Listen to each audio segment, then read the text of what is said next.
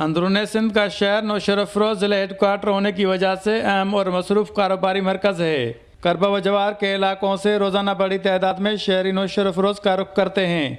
दिन भर की मसरूफियात के दौरान शहरों की रफ़ा हाजत की सहूलत के लिए बस स्टॉप, मरकज़ी बाज़ार और दीगर पब्लिक मकाम पर लेटरिन मौजूद नहीं है, जिसकी वजह से शहरों को परेशानी दरपेश है।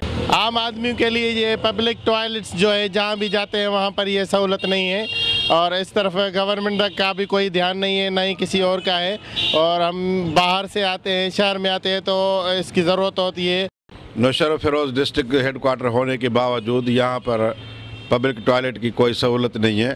ख़ास तौर पे अल्लाह चौक ठारू शाह स्टाफ या जैसे और जैसे चौक है, वहाँ पे बाहर से जो लोग आते हैं, उनको बहुत परेशानी का सामना करना पड़ता है। गवर्नमेंट से अपील करते हैं कि नौशर फरोज़ में टॉयल्ट्स वगैरह नहीं है और जो मुसाफिर खाने हैं वो भी नहीं है। इसलिए पब्लिक को बहुत परेशानी हो रही है। ये शहर का मेन स्टाफ है। यहाँ पे जो बाहर से जो आदमी आते हैं जो मुसाफिर आते हैं उनके लिए इतना मसला होता है कि उनके लिए टॉयलेट टॉयलेट जो है ना वो इधर नहीं है। एक भी नहीं है। तमाम बहुत परेशान होते पी एम मोहम्मद कासम जतोई का कहना है कि वो आवाम की मुश्किल से आगाह हैं। पहले मरहले में बस स्टॉप पर तीन लाख की लागत से पब्लिक टॉयलेट्स बनाने का फैसला कर लिया गया है। जल्द काम शुरू कर दिया जाएगा।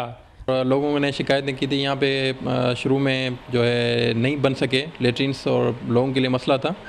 तो इस नई जो डेवलपमेंट जो स्कीम्स हम ला रहे हैं, उसमें हमने रखे हुए हैं पैसे। और मेन बस स्टॉप नौशर फिरोज पे हमने तीन लाख रुपए रखे हैं और नए इसमें लेट्रिन्स हम बनाएँगे इसमें।